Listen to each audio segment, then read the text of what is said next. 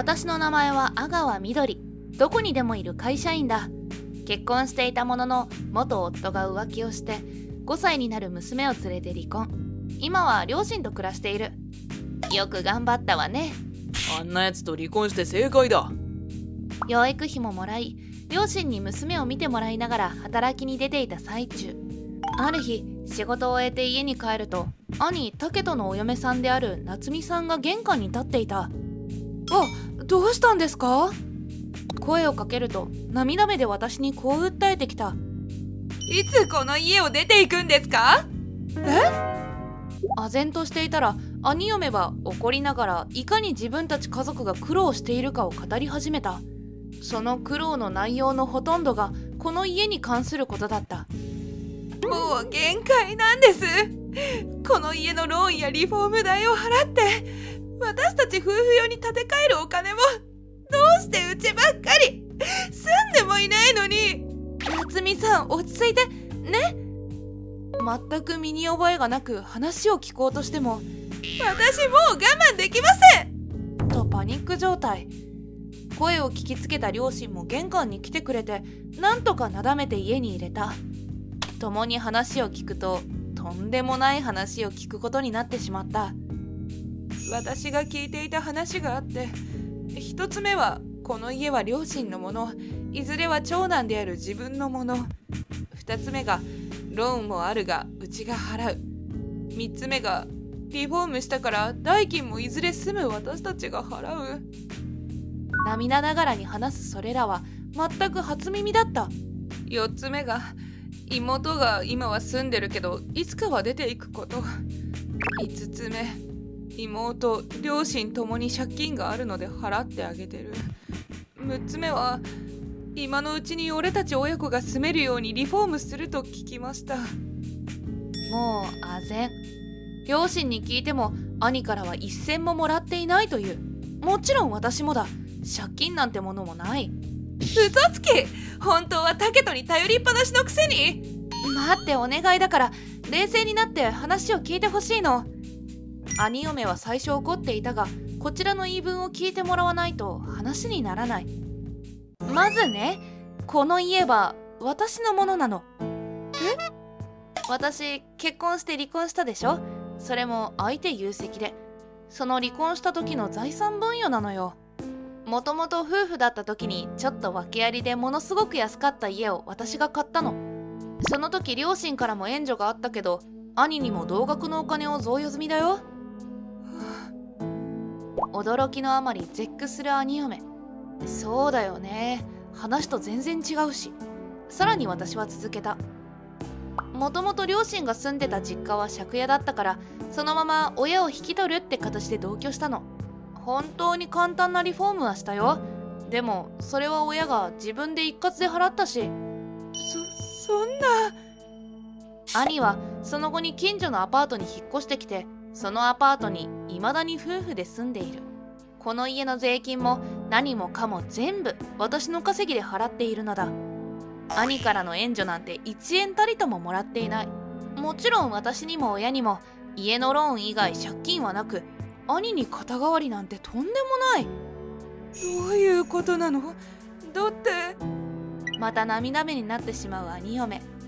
兄嫁は兄の言葉を信じ掛け持ちでパートをして実家にまで頼ってなんとか兄にお金を渡していたという。そりゃ兄嫁の実家にお中元やお歳暮してもお返しがないわけだ。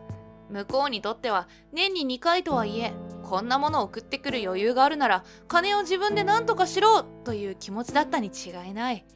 どうして急にうちに？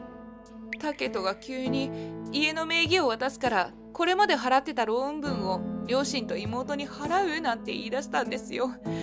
もう我慢できなくて私。具体的にいくらこの家のために払ったのか思い出してもらっていいですか？紙とペンを持ってきて書いてもらうと。家計から200万兄嫁の貯金から200万兄嫁実家から100万何これひどい。あいつ。私はカッとなり両親は泣き崩れてしまった。このままではいけないとにかく兄嫁には子供を連れて逃げるように言った。兄は主に私と娘のことを出しにして兄嫁と兄嫁の実家からお金を巻き上げていたようだ。直接こっちに相談なりなんなりしてくれればよかったのに兄はそこら辺はお前が出るとこじれるからさ俺に任せろ。借金のことを知ってるのは一応俺だけってことになってるから。それに兄嫁に知られたと知ったらプライドの高いあいつは何をするかわからない。などと言いくるめていた。兄嫁も確かに他人が出るのは子供のこともあるしと素直に信じてしまったとか。兄は弁護士に立ち会ってもらって帰ってきたよと何やら念書だの借用書なども持って帰ってきたことがあってなおさら本当だと思ってしまったと。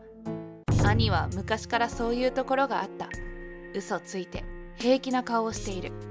そしてその嘘が巧妙でみんな騙されてしまうのだ。一度責め立ててもうまく論点をずらされ自分は悪くないという方向に持っていこうとする。幼い時の私は何度騙されたか。両親はその癖をもちろん知っていたので何度か怒鳴りつけていたが効果なし。そんな兄だがまさか結婚して奥さん相手に詐欺のようなことをしているなんて思ってもいなかった。家族間ではお金が関わる嘘はなかったし結婚して落ち着いたかと思っていたら悪化していた。